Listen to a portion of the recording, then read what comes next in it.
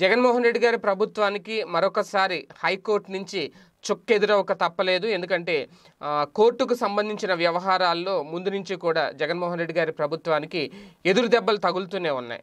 తాజాగా జరుగుతున్న అరెస్టులు ఏవైతే ఉన్నాయో ఆంధ్రప్రదేశ్లో అరెస్టులు సంచలనంగా రేపుతున్న నేపథ్యంలో ఈ అరెస్టులకు సంబంధించి ముందస్తు బెయిల్ మంజూరు చేసుకుంటున్నారు. ఈ విషయంలో ఈ అరెస్ట్ మీద స్టే కూడా ఇస్తోంది హైకోర్టు అనే వార్త ఇప్పుడు సోషల్ మీడియాలో సంచలనంగా మారింది. అంటే టీడీపీ సీనియర్ నేత అలాగే మాజీ మంత్రి అయ్యన్న పాత్రుడు ఎవరైతే ఉన్నారో ఆయన ఆయన మీద కొన్ని ఆరోపణలు వచ్చినాయి. నర్సీపట్నం సంబంధించి కమిషనర్ను ఆయన దూషించారు దుర్భాషలాడారు అని చెప్పి ఆయన మీద నిర్భయ చట్టం కింద కేసు నమోదు చేయడం దీంతో ఆయన కోర్టుకు వెళ్ళడం. దీని మీద హైకోర్టు స్టే ఇచ్చింది. తన తనపై పెట్టిన నిర్భయ కేసు కొట్టివేయాలి అంటూ ఆయన న్యాయ న్యాయస్థానాన్ని ఆశ్రయించారు. దీంతో హైకోర్టులో అయ్యన పాత్రుడు గారికి కాస్తంత ఊరట లభించిందని చెప్పాలి. ఎందుకంటే ఆయన నర్సీపట్నం మున్సిపల్ కమిషనర్ని దూషించారు అనే విషయంలో అయ్యన పాత్రుడిపై ఎస్సీ ఎస్టీ కేసు నమోదైంది.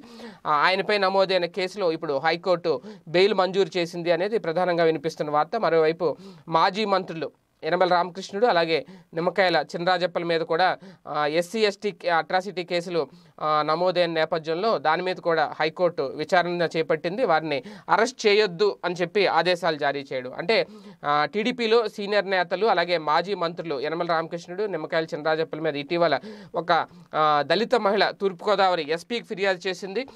తన భర్తకు వేరే మహిళనిచ్చి వివాహం చేసేందుకు యనమల అలాగే చినరాజప్ప ఇద్దరు ప్రయత్నించారని తనను కలవ కలవనీయకుండా అడ్డుకున్నారు అని చెప్పి ఆమె ఆరోపించడం. దళిత మహిళ ఫిర్యాదును ఫిర్యాదు ఇచ్చిన మేరకు ఎస్సీ ఎస్టీ అలాగే అత్యాచార నిరోధక చట్టం కింద ఇంద్రపాలెం పోలీస్ స్టేషన్లో యనమల చినరాజప్ప మీద కేసు పెట్టారు.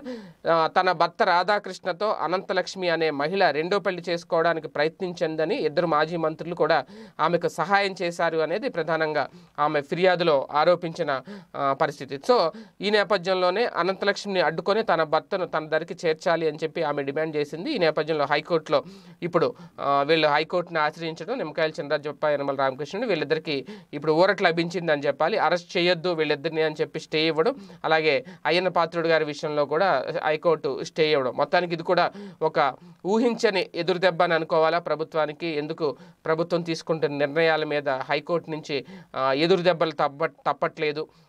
కోర్టుల విషయంలో ఎందుకు జగన్మోహన్ రెడ్డి గారి ప్రభుత్వం ఎదురు ఎదురు దెబ్బలు ఎదుర్కొంటోంది అనే దాని మీద ఇప్పుడు సోషల్ మీడియాలో సైతం ఒక ప్రచారం అయితే జరుగుతోంది. మరి దీనికి సంబంధించి ప్రభుత్వం ఏ విధంగా నిర్ణయం తీసుకుంటుంది? ఇది తెలుగుదేశం పార్టీ మరొక ఘన విజయంగా వాళ్ళ ఖాతాలో వేసుకుంటారా? ప్రచారం చేసుకుంటారా? ఏంటనేది కూడా వేచి చూడాల్సిన అంశం.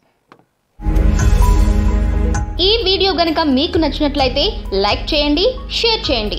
మరిన్ని వీడియోస్ కోసం మా ఛానల్ను సబ్స్క్రైబ్ చేయండి.